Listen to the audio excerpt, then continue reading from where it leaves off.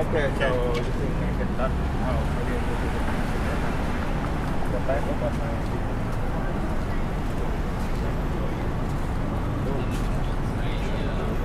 my Hey,